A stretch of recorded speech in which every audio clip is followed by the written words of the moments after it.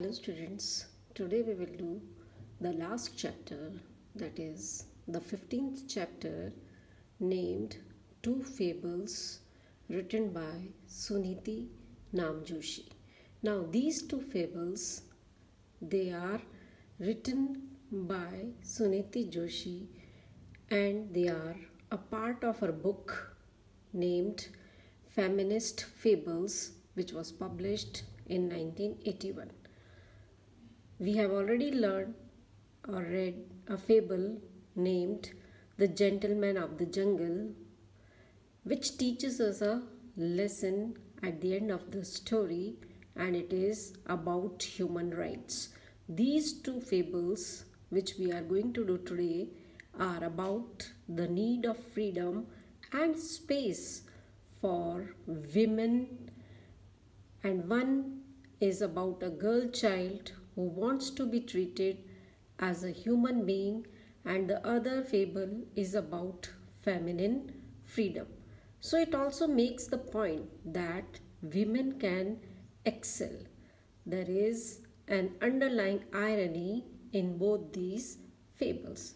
The first one is taken from the Panchtantra, and the fable begins in the holy city of Banaras, there lived a Brahmin who, as he walked by the river bank, he was watching the crows floating down the stream, feeding on the remains of half burnt corpses or the dead bodies, and the Brahmin consoled himself, saying, It is true that he is a poor but he is a Brahmin, and it is true that he has no sons, but he himself is an indisputably a male. So he says that he shall go to the temple and pray to Lord Vishnu to grant him a son. He went off to the temple and Lord Vishnu listened to his prayers and he granted him a daughter. The Brahmin was disappointed when the child was old enough. He called her to him and delivered himself, saying that he is a Brahmin and she was his daughter.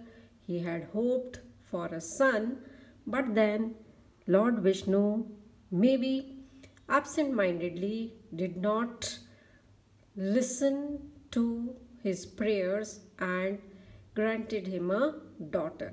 So he says he will teach her what he knows, and when they are able, they will both meditate and seek guidance from Lord Vishnu.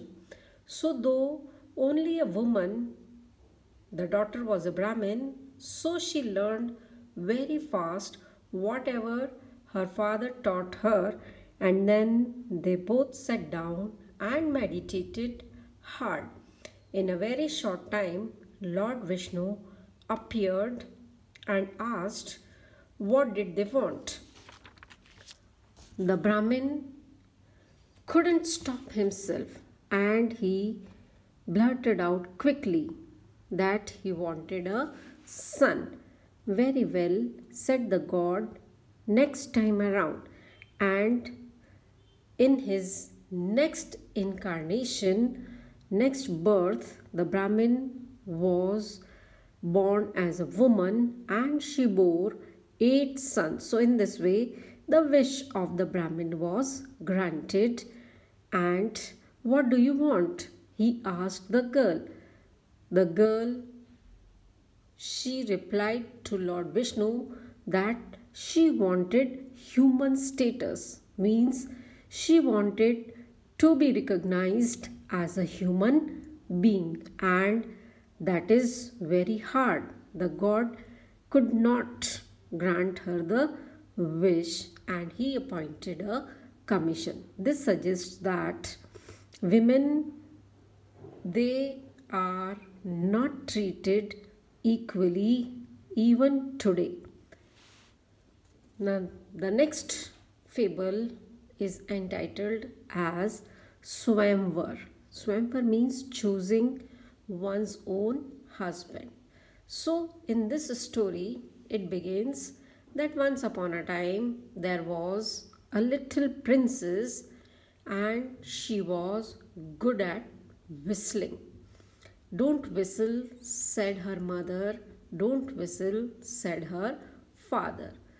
Both the parents they were very anxious because the girl child had a talent of whistling. But the child who was good at it went on whistling and years went by and she became a grown up woman. Now by this time she whistled beautifully and her parents grieved why? Because they knew that no man will marry a whistling woman.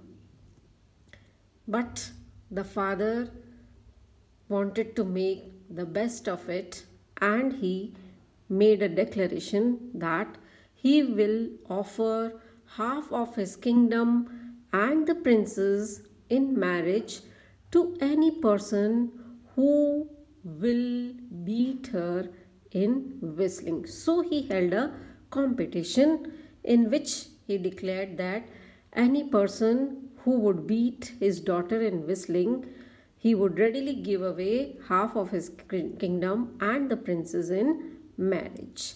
The king's offer was duly proclaimed, and soon the palace was jammed, filled with suitors, with all those bachelors who were good at whistling, and it was a very noisy affair because people who came from far off places to seek the prince's hand. They were there gathered and whistling. Most were terrible and a few were good at whistling, but the princess was better and beat them easily. So we see that there was not a single fellow who would beat the princess and the king was displeased because he knew that now he would not find a proper suitor for his daughter and then the princess said never mind father.